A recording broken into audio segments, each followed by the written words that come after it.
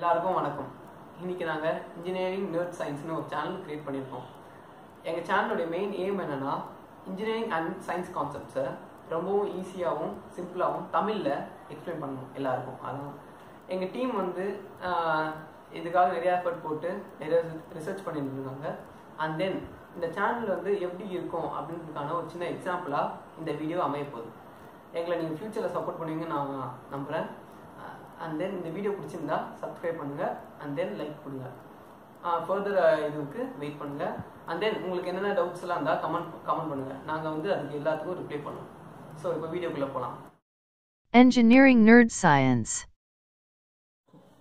Okay இப்போ இன்னைக்கு நம்ம பார்க்க போகிறது E equal to MC square ஐன்ஸ்டனுடைய famous equation சொல்லப்போனால் வேர்ல்ட்ஸ் ஃபேமஸ் ஈக்குவேஷன் கூட சொல்லலாம். இந்த ஈக்குவேஷன்லேருந்து நம்ம என்ன நம்ம ஒன்று தெரிஞ்சுக்கிறோம்? சும்மா வச்சு எக்ஸாம்பிளோட சொல்கிறேன் ஒன் கேஜி ஆஃப் மாஸ்லேருந்து நம்ம nine point ten ten power sixteen joules of energy produce பண்ணலாம்.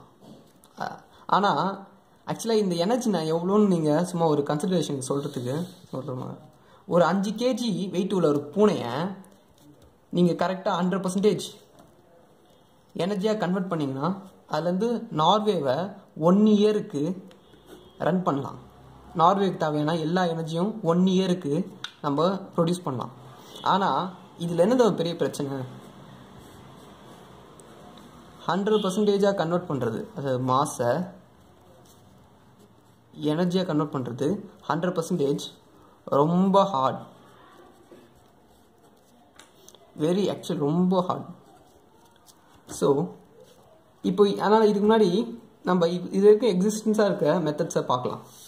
ஃபர்ஸ்ட் மெத்தட் ஃபயர் இது வரைக்கும் நம்ம மாதம் எப்படி எனர்ஜியை கன்வெர்ட் பண்ணியிருந்தோம்னா ஃபயர் வச்சு தான் ஒரு பொருளை நெருப்பில் தூக்கி போடுவோம். அது வந்து ஹீட் எனர்ஜியாக மாறும். ஸோ இப்போ ஒரு எக்ஸாம்பிளுக்கு நம்ம இப்போ ஒரு பூனையை நெருப்பில் ட்ராப் பண்ணுறோன்னு வச்சுக்கோங்க. அது நீங்கள் நினைக்கிறீங்களா ரொம்ப எஃபெக்டிவான மெத்தடாக இருக்கும்னு? பட் அங்கே தான் தப்பு. அது இருக்குல்லையே ரொம்ப ஒஸ்டான இன்எஃபெக்டிவ் மெத்தட் கிட்டத்தட்ட நெருப்பில் நம்ம ஒரு பூனையை ட்ராப் பண்ணலாம். அதுலேருந்து கிடைக்கிறது just zero point zero zero zero zero zero zero one percentage of எஃபிஷியன்ஸில் நம்மளால் ஆப்டைன் பண்ண முடியும். அப்போது அதுமாரி பார்த்தீங்கன்னா டென் பில்லியன் கேட்ச் வேணும். ஃபார் நார்வே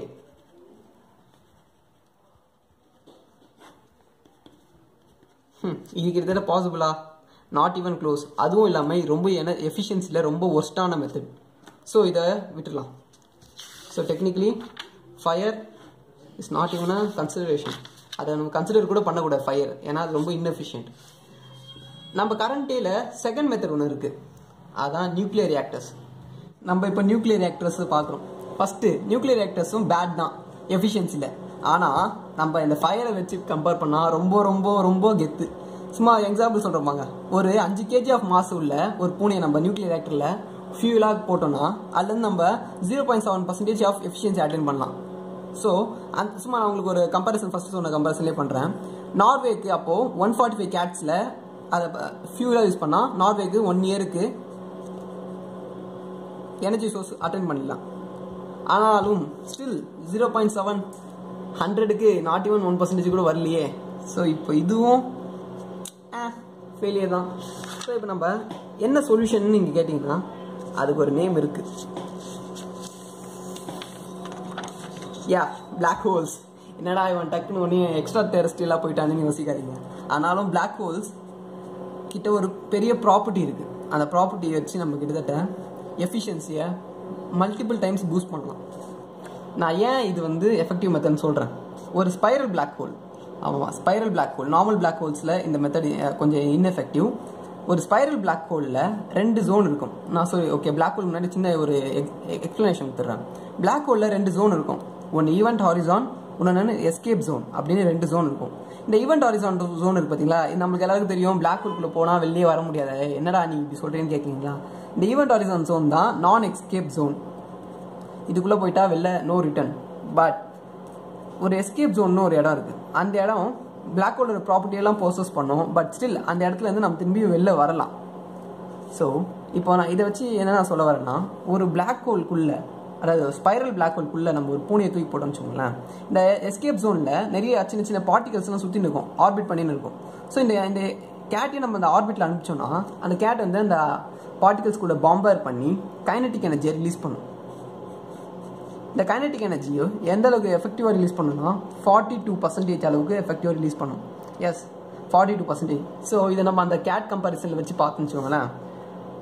ரெண்டரை கேட் ரெண்டரை கேட்டை கம்பைன் பண்ணால் நார்வேக்கு ஒன் இயர் எனர்ஜி சப்ளை பண்ணலாம்.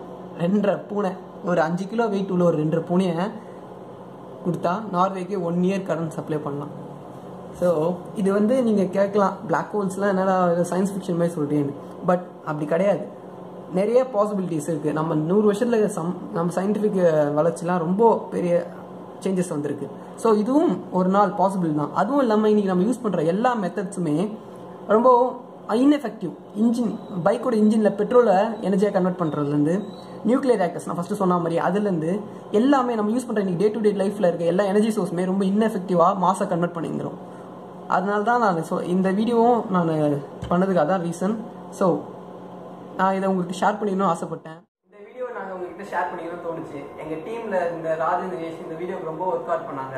அண்ட் இது எங்கள் வீ எங்கள் சேனலோடைய சும்மா ஒரு எக்ஸாம்பிள் தான் இது. ஃபியூச்சரில் இது மாதிரி வீடியோஸ் தான் நிறையா இருக்க போகுது.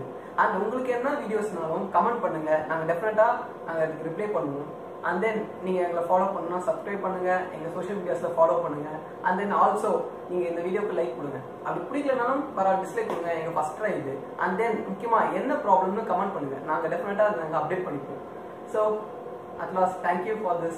This is DK signing off. Bye.